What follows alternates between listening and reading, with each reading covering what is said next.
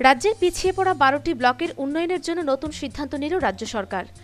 ব্লকগুলির উন্নয়নের জন্য পঞ্চাশ কোটি টাকা বরাদ্দ করেছে রাজ্য মন্ত্রিসভা।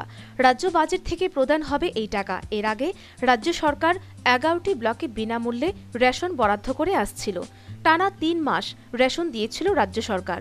এখন সংশ্লিষ্ট ব্লকগুলিকে উন্নয়নের জন্য তিন বছরের মাস্টার প্ল্যান নিয়েছে রাজ্য সরকার। জানালেন মন্ত্রী রতনলাল নাথ। ওই এলাকায় বসবাসকারী মানুষ এগিয়ে যেতে পারে, ওই এলাকায় ডেভেলপমেন্ট যাতে হতে পারে, সেই জন্য আমরা এয়ার মার্ক করে এই বারোটা ব্লকের জন্য একটা তিন বছরের একটা পরিকল্পনা গ্রহণ করেছি। এবং এই জন্য বাজেটে রাজ্য বাজেট থেকে, রাজ্য বাজেট থেকে, পরপর তিন বছরের বাজেট থেকে আমরা পঞ্চাশ কোটি টাকা এই ব্লকগুলির জন্য আমরা আলাদাভাবে রেখেছি।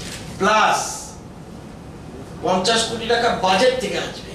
স্টেট বাজেটের তিন বছরের জন্য এবং পরিকল্পনার থ্রি ইয়ার্সের জন্য নিয়েছি।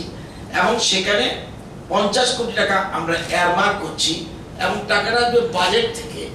তিন বছরের বাজেট থেকে পঞ্চাশ কোটি টাকা যাবে এই ব্লকগুলির জন্য এডিশনাল